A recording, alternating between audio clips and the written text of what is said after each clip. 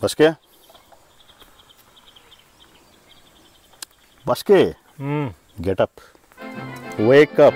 Step into the reality. This is my reality, CK. Couple of months, someone had made a big video. The decision to do away with the V-Strom. What video? It just deleted. Seriously? Yeah, I did away with the V-Strom. But I did not say never going to buy a big motorcycle. What do you think? What were your expectations before you wrote this? What was different? What surprised you? Honestly, Busky, I thought this would be a big, intimidating motorcycle to ride, to handle, and maneuver. But when I rode it, I'm flabbergasted. Ooh. None of these factors mattered to me when I slotted the vehicle into its first gear, let go of the clutch, and it was crazy.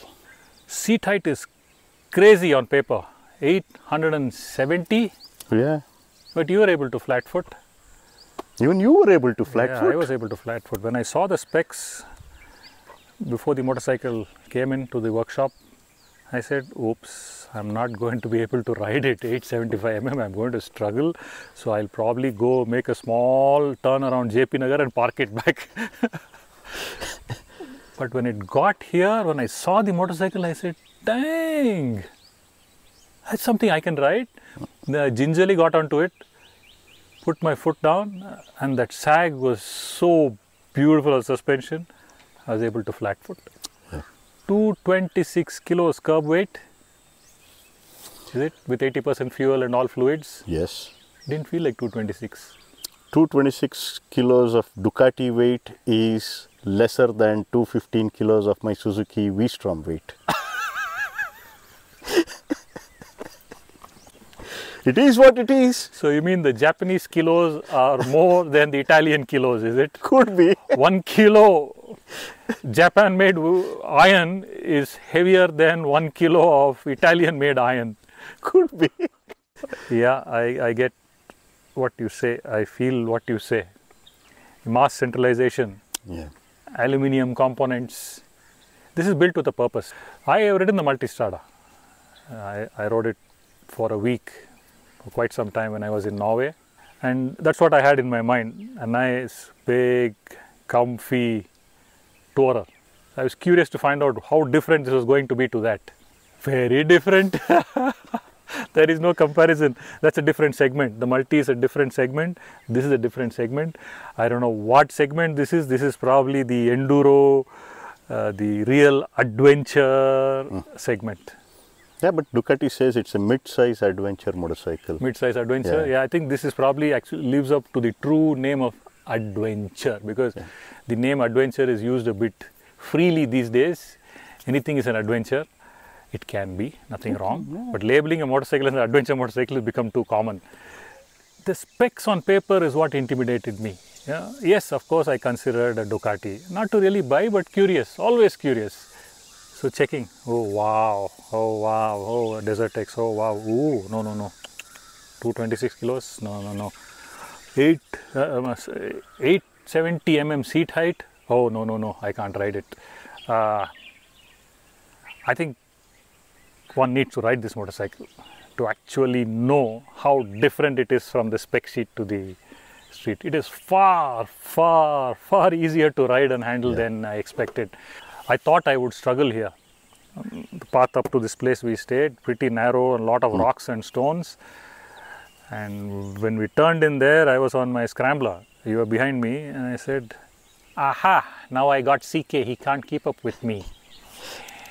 But after a while, I realized you were almost riding pillion with me.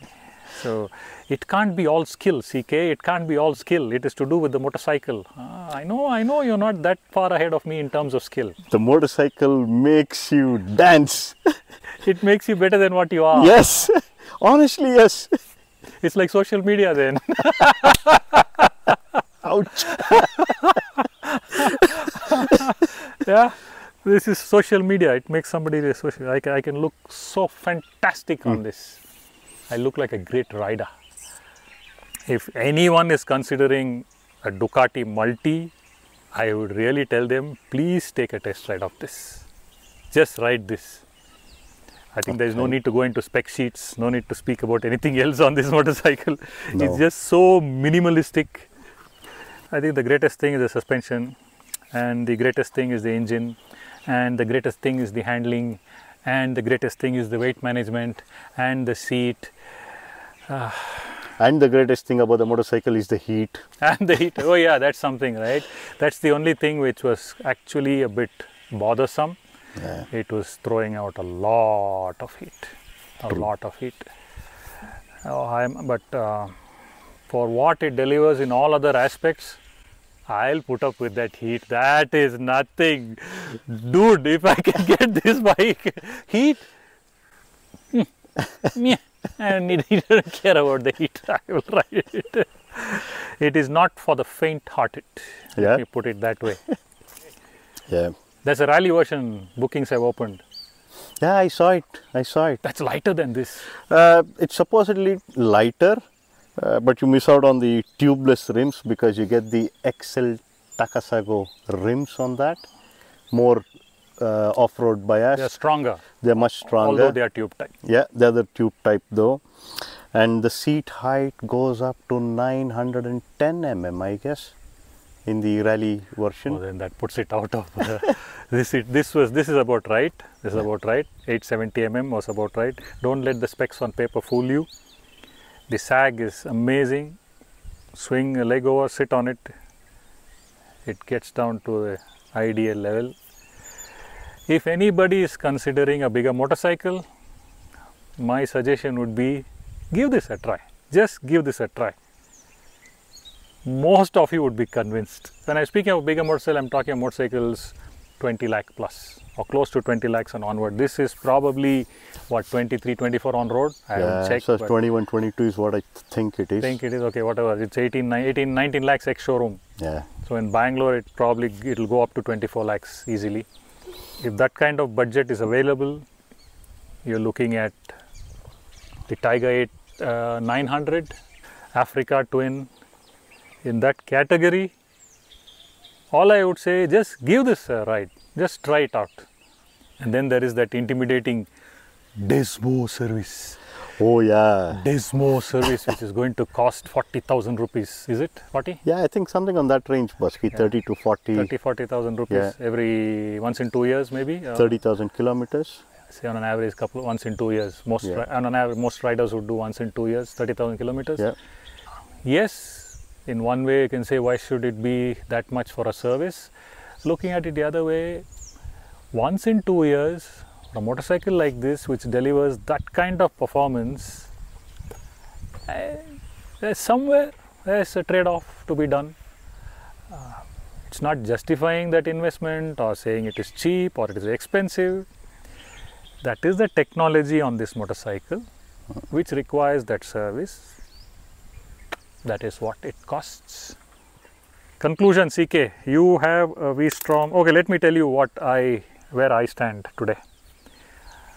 I gave away the 650 because i realized i was not using that motorcycle because i had the himalayan 450 the 450 what it delivered what it did where i could go with it was and the 650 v-strom what i did with it what i could do with it say they were about this much apart so now after selling the v-strom i know the 450 can kind of fill that that gap and if i'm going to get myself a big motorcycle it's not going to be in uh, other V-Stroms. that 650s or you know cc also today is not so relevant but just to give an indication Yeah. because any cc can be provide all kinds of performance and characteristics it's going to be a jump next time it, it's going to be a jump and if i hit a lottery or i get an unexpected windfall of some money today right now where i am with what i know about the motorcycles available 10 out of 10 times I'm going to pick up the Desert X. There, is no, no, no, no, there is no, no argument. Period. End of discussion. Matter close. Uh, there is nothing even comes close, uh, any kind of consideration. Uh, The- That's it. That's it. I still remember Busky. When you got the Desert X in your workshop, the first message that you put out in the group, you want me to read it out? What did I put out? You are right. I'll get myself one someday.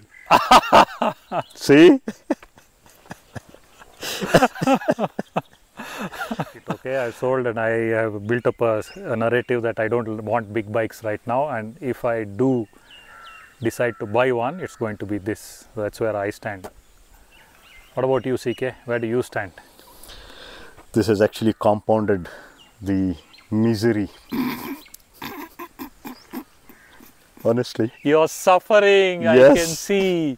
Tug of war between your wallet and your brain. The wallet's empty, Baski.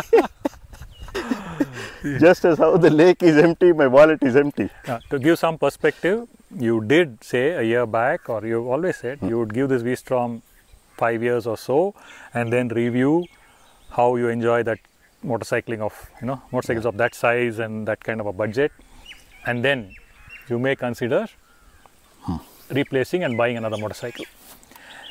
And from initial indications, I think I know where you are headed. This this is always tugged at me. Yeah. Yeah, I saw it first time in when I was doing the Leh near the Padum. Ever since then, I've been making mental notes. But thanks to you, got to ride the motorcycle. Thanks to Ducati. Ducati, to be precise. Oh, that's how you say it. Yes, that's how the Italians say it. Okay, Ducati. Ducati. Don't say Ducati. Okay, It hurts my ear. say Ducati. okay. I will try not. so this is basically compounded, and yeah, after riding this motorcycle, it further re-emphasizes on my thought process, saying like, yes, You still have a regular income, unlike me, CK. I need a lottery. All you need is an EMI. no, no, Baski, I'm done with EMIs. See what this has done. Yeah. It has set me, who had a narrative that I don't need big motorcycles. now scratching my head, did I make that statement too fast and did I put out that video unnecessarily? Think about what I said.